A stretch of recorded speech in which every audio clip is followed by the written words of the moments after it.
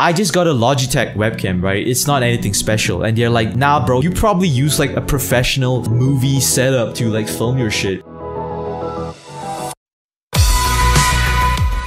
Yeah, you need good lighting for this. I can show you, right? Like, this is why I take like 20 minutes or 30 minutes before I start every stream. That's because like I have to set up my lighting. So let me show you guys what my webcam will look like without lighting. So I'm gonna turn off my lighting and let, let me show you what, what I mean by that. So I got two lighting setups and this is how my webcam looks like without the lighting. You see how bland it is, right? It It's almost like I bleed into the game and this is not it. If I remove all the filters that I set up for my webcam, this is how how my webcam looks like out of the box, right? This is my default like webcam look. It took me a really long time. I think it took me like a year to play around with the settings to kind of like look on YouTube videos to really understand how to make my shit look better, man. So when I apply back all the filters, like the colors like more balanced. And this is in conjunction with the lighting right? Look at that. All of a sudden i turn on both lightings. There's one over there. There's one over there. And you guys can kind of see it in this like photo over here. You see that lighting over there? This is how my setup looks like when i'm facing the monitor right? I got another lighting down below. Also you guys may not realize this but there is a very clear reason why i wear white on every stream. And that's because like the webcam is able to color balance way better if i wore white. In fact, the whiteness of my headphones play a part in balancing the color. So check this out, right? If you look at my webcam right now, try to memorize this color palette. And when I put in my headphones into the scene, the color gets darker.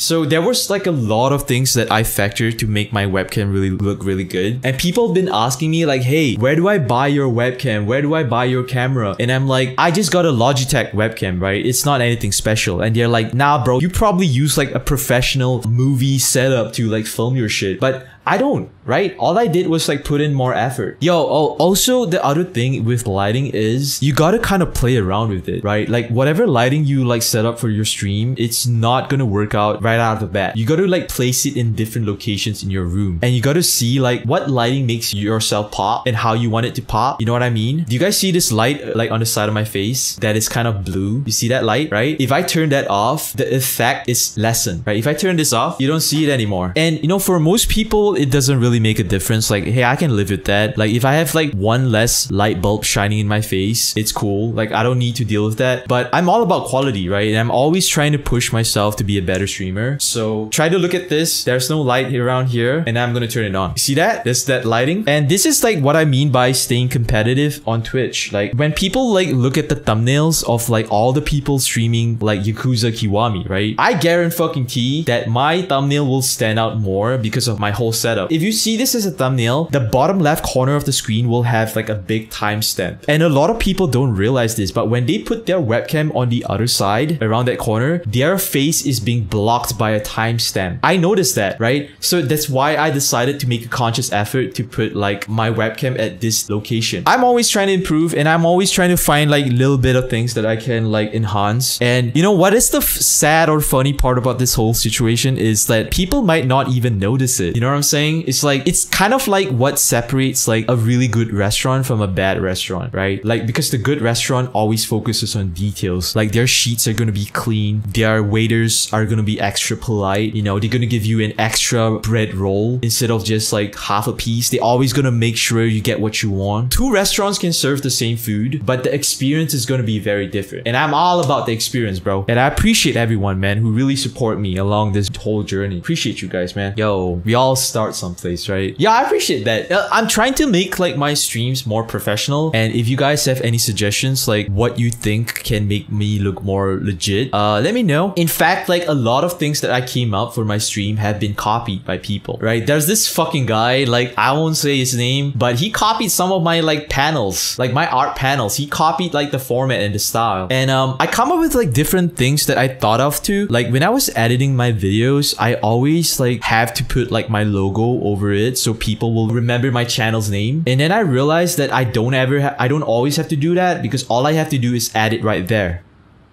Look up the screen. You see the top right corner, you see Oats Curry TV. So at any point of time, if this clip gets taken and shared with like a lot of people and they can't pinpoint the source of like who the person who I, who I am, that is a big help. That that is kind of like breadcrumbs for people to come back here. So I thought of that, right? Nobody talks about this shit, bro. I'm all into that OCD shit, bro. I'm always trying to give you guys the best experience of all time. My lighting is like lamps that I bought from the dollar store. You guys know how I am with right? I don't buy the like legit shit. Let me show you guys like one of my lamps.